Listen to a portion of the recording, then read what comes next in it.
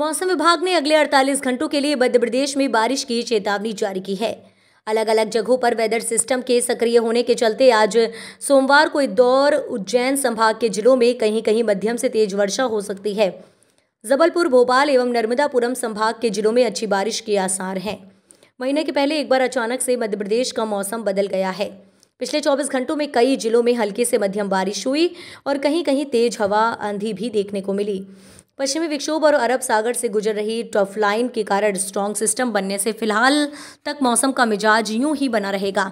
दिन रात के तापमान में तेज़ी से गिरावट आएगी और पहले सप्ताह में ठंड का असर तेज होना शुरू हो जाएगा। प्रदेश के दो दर्जन से ज़्यादा जिलों में बारिश की चेतावनी जारी की।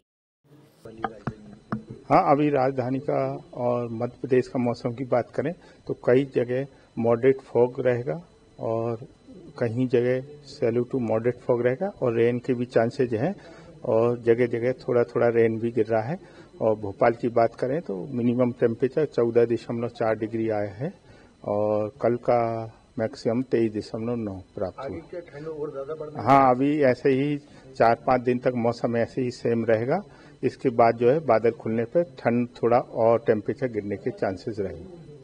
ये जो ठंडी हवाएँ आ रही है, ऊपर की तरफ़ क्या बर्फबारी हो रही है? हाँ ये एक वेस्टर्न डिस्टर्बेंस है, जम्मू कश्मीर के ऊपर, और उसके साथ साइक्लिक सर्कुलेशन है, और दूसरा एक इंड्यूस साइसर है, जो साउथ हरियाणा के ऊपर बना हुआ है, और एक ट्रफ लाइन भी है, जो कोकण से लेकर कर्नाटक तक है। तो इसकी वजह से ये सारे रेनफॉल और फॉग फॉर्मेशन हो रहा है।